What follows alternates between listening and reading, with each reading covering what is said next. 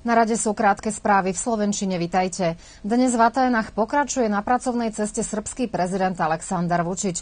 Vyhlásil, že Srbsko má málo kde vo svete takého úprimného priateľa, akým je Grécko a zároveň zdôraznil význam deklarácie o strategickom partnerstve pre vzťahy dvoch krajín. Vučić na tlačovej konferencii s gréckým premiérom Kyriakosom Mitsotakisom uviedol, že nerozumie, prečo tieto dve krajiny potrebovali toľko času na podpísanie dohody o strategickom partnerstve. Pre nás to má veľký význam. Srbsko síce nie je ani veľký, ani silný spojenec, ale určite je odaný priateľ gréckého národa, uzavrel Vučiť. Verejný podnik Pošta Srbska, ktorý bol v štrajku, oznámil, že dnes sa dôchodcom vyplácali dôchodky riadne, bez problémov, na 1446 poštách po celej krajine a že zavádzajú opatrenia na zabezpečenie hladkého pracovného procesu na všetkých pobočkách s cieľom načas vyplácať dôchodky a regulovať poštové služby. Vyplácanie dôchodkov na domácu adresu už opäť funguje aj v Staropazovskej obci a táto služba potrvá ešte niekoľko dní. Poštári okrem dôchodkov doručujú do schránok aj šeky. Pošta Pošta v Starej Pázove pracuje od 8. do 19. hodiny. Verejnokomunálny podnik Čistoča organizuje verejnú licitáciu na prenájom predajných pultov a betónových predajných priestorov na území obce Stará Pazova. Licitácia sa bude konať zajtra 12. decembra o 12. hodine vo Veľkej sále Bielej budovy na námestí doktora Zorana Dindiča. Dražba sa bude týkať predajných pultov na tržniciach v Starej a Novej Pazove, Nových Bánovciach, Golubinciach, Belegiši, Surduku a Vojke.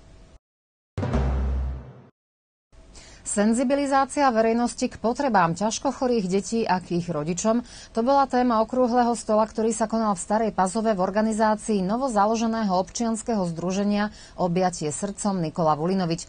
V rámci stretnutia sa rodičia podelili aj o vlastné skúsenosti, smutné príbehy, ale aj šťastné konce. Prítom, prítomní tu boli aj predstavitelia inštitúcií, ktoré sa zaoberajú problematikou detí s rakovinou a tiež členovia miestneho spoločenstva, ktorí majú záujem pomôcť občianskému združeniu združeniu.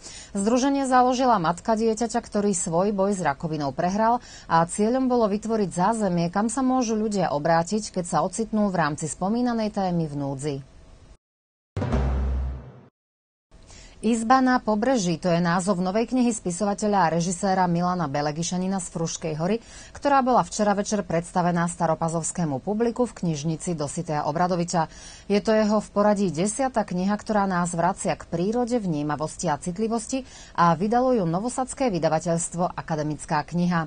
Okrem knižnice tento večierok organizovalo aj Centrum kultúry a zväz ochotníkov Stará Pazova.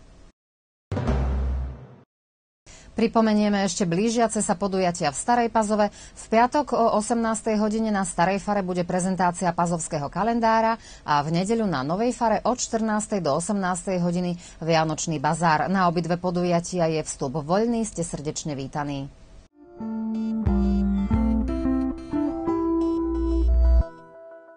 Vo štvrtok oblačné počasie slnečných lúčov minimum a teploty sa budú pohybovať v rozmedzi od 6 do 12 stupňov. Slabý vietor bude premenlivý. Meninový kalendár dnes ukazuje meno Hostivít, zajtra Otília. Oslávencom aj my gratulujeme. S novými správami sa prihlásime opäť zajtra.